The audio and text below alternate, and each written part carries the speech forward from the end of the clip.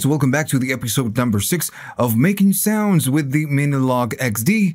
And on this one, we are going to do a couple leads. So you can download for free the patches that we will create right here. Go to the links at the description and you will find it there. Now, so if you like all this, please like and subscribe. And remember, if you have the money and you want to buy me a coffee, you can. Just go to the links at the description.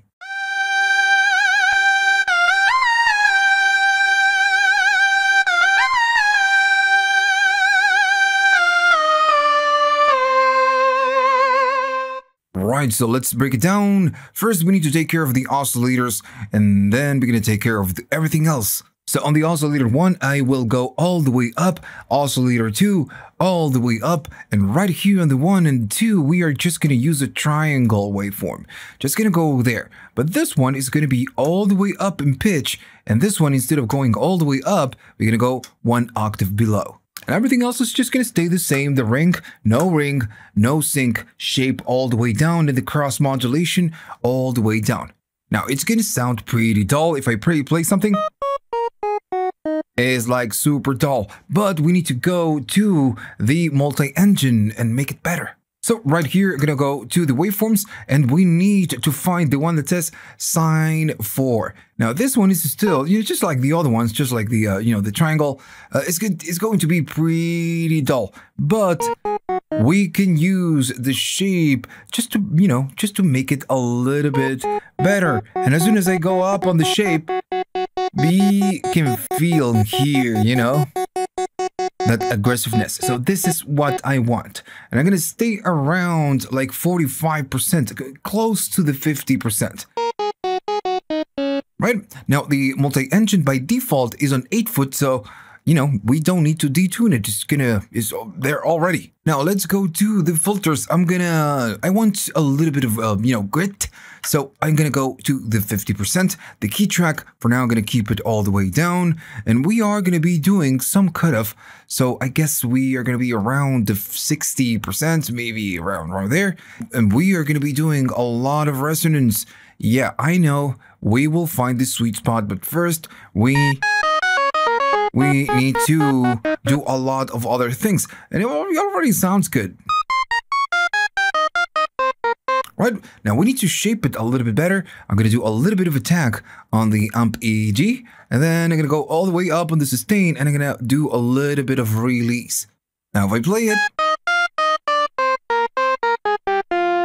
now it already sounds like a lead.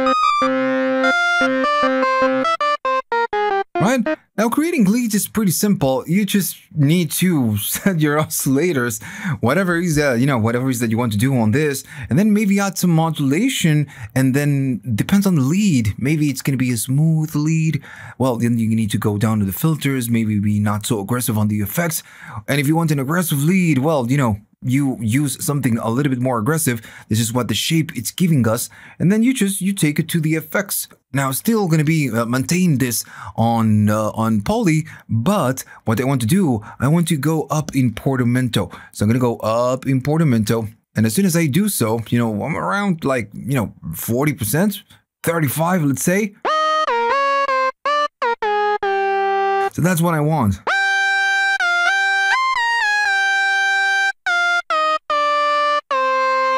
Right, so I want something like that. Maybe I'm doing a little bit too much on the shape.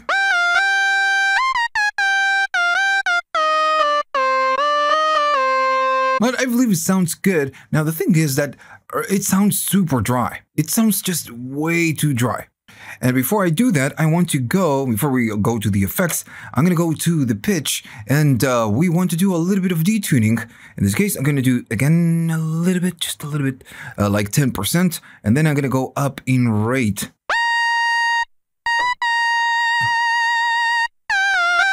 Now, the thing is that by default, uh, the XY controller is controlling the intensity.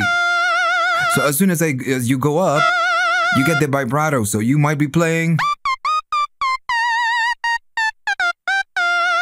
Right? And you go up and you get that natural vibrato. So depends on the intensity you need uh, when you're uh, when you're playing you know your track uh, you need to set your rate i believe that you know that rate is fine So I'm gonna start uh, with the effects. I'm gonna go all the way up to the mod effect, and uh, I'm gonna make sure that this is on. And we need to add, um, I don't know, let's add a chorus. You know, it feels like this uh, lead might use a chorus, and uh, by default it's gonna be the stereo. So we should be getting something already as soon as we play it. There we go. That's just the chorus.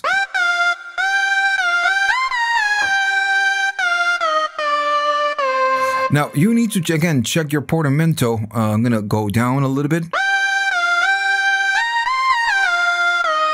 Alright, so I feel that's fine. That's like 40% on the portamento, uh, the portamento. It's not too aggressive, uh, you know, for what we are doing. Uh, let's do a little bit more. I'm gonna go to the delay. I'm gonna do a ping pong. Alright, so it's ping pong, and as soon as they play it, it's gonna go really crazy. Now, uh, depends on what you want to do. You want more feedback. In this case, I do want more feedback. And I'm gonna keep the time around 50%. You need to, again, adjust it to whatever is that you're doing. But it's way too in your face. So I'm gonna do shift and go down in the dry and the wet. And I'm gonna really go down. Let's see how it sounds. Still, way too much. I'm gonna do less.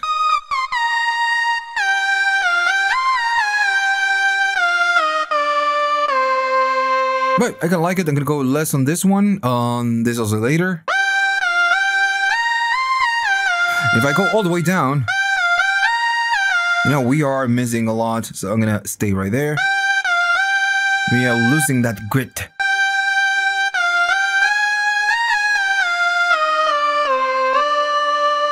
Right, so I feel that's fine. Maybe we can even do a little bit less of, uh, you know, delay and then I'm going to go to the reverb and then go to a hall. Go to hall. Let's see if I can find it. It's always the first one. I don't know. Every time I go to a reverb, I'm already standing in a hall on the hall and I just, you know, start searching for hall and I was already there. So, you know, that's uh, sometimes happens. So that's the hall. I'm going to go time, uh, maybe 40, 40% right there. Maybe the depth is going to be a little bit less than, you know, Again, pretty much the same value, 40, less than 50.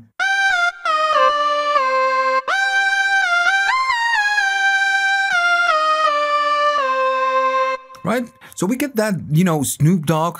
I don't want to name the track, you know, the Snoop Dogg track. Uh, I don't want to name the track, and I'm, I do not want to name the whatever it is I'm playing. I changed it just a little bit, uh, so you you know I, I don't get a red flag on YouTube. But I want you know that that vibe.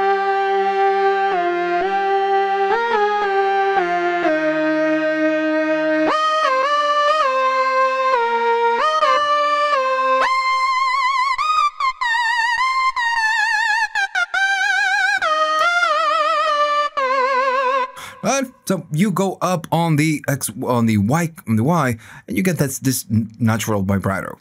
Alright, so I'm gonna save it right there. This is gonna go to you. So let's move on to the next lead.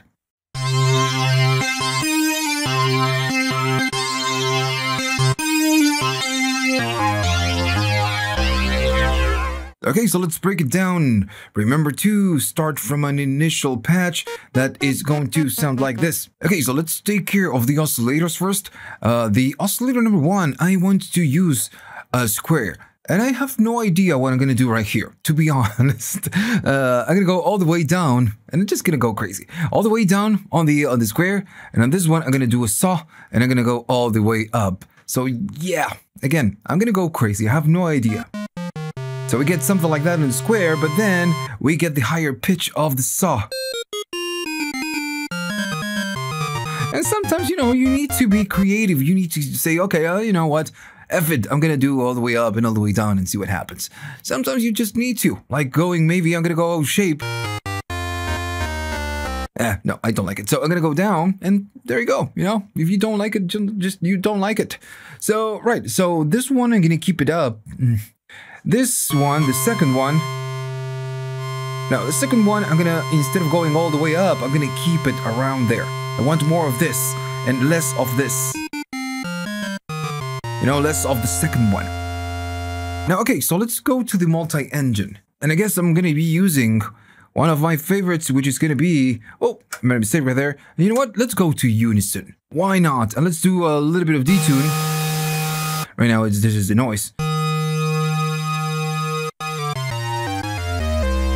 There we go. A little bit of spread on the unison. Let's go to the multi-engine. I'm gonna go up. And this one, I'm gonna use the one I like it. I like the most, which is gonna be the decay. And I like the uh, decay. And where's the other one? The fat. I love the fat, and I love the decay. And I'm gonna be using the decay number one. Now I want to make sure I'm gonna go there and uh, you know to the edit mode and I want to double check the multi-octave you know on which range we are. If I you know that's how it sounds you know that's the decay. Let me just go down on the VCOs I love it. That's the decay. Right. So let's go up in shape. It's gonna go crank here. Uh, I'm gonna stay right there at 25% something like that maybe a little bit less, just 23, let's say. Now, this is how it sounds. Let's go an octave down with the other ones. And this one all the way up, let's see. Nope. I'm gonna keep it an 8.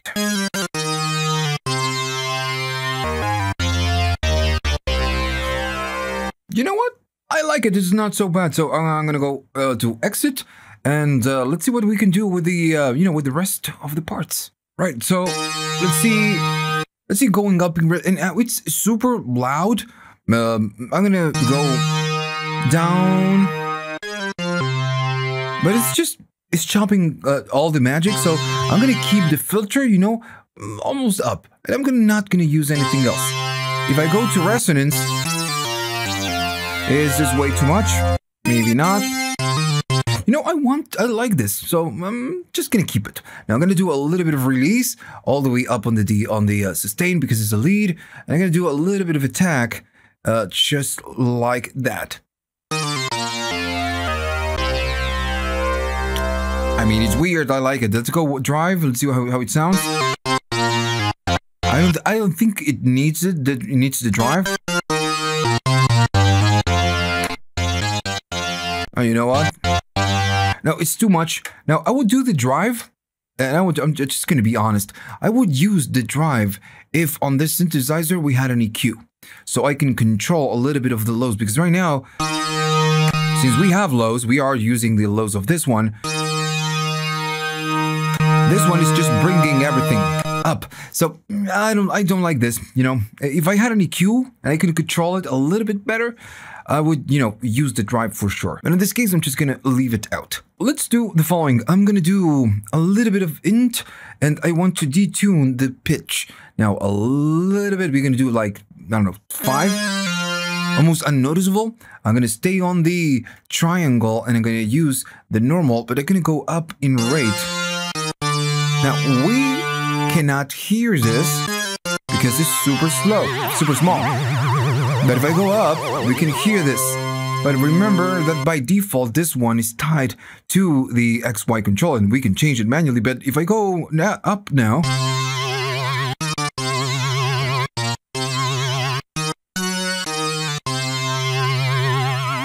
right? And I, you know, and we did this randomly. This is, you know, it's just proof that you can just, you know, go crazy, just try things, you know, and uh, just try try different things. It doesn't matter how crazy uh, they look, like going all the way up and all the way down. And then you just decide if you don't like it, you just do something else. Right, so I'm gonna go to, let's make it bigger. Why not? Let's, why not? Let's do a chorus, an ensemble, uh, a chorus, let's see. Are we doing reverb? Yeah, we was, was one. Uh, I went it off. So for now, I'm gonna do the ensemble. Nope, I'm gonna do the chorus. I like the chorus a little bit better. You know, the ensemble is not that bad, but the thing is this is maybe way too big. Now go, let me go here.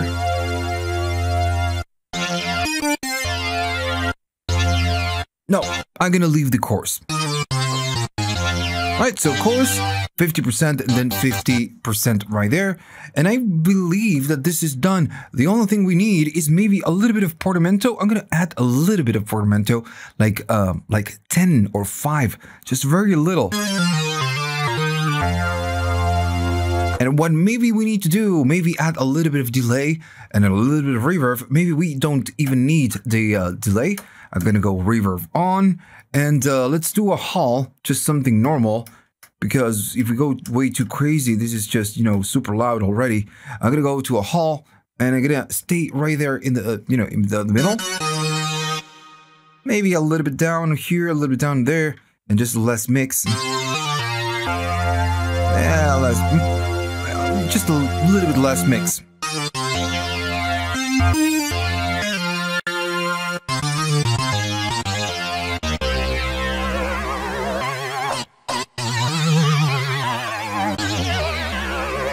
I'm just a little bit hard to, you know, play all this.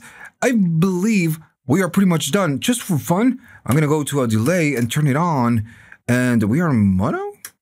Oh, okay, delay on. It was weird. I'm gonna go up and do a ping pong. Why not? Yeah. So, well. Um,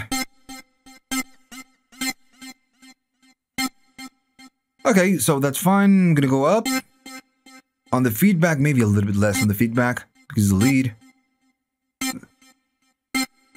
Alright, and I'm gonna go down on the dry and the wet. Remember, we do this by holding the shift. Right, it's just in the background. Alright, so yeah, that's gonna be my lead.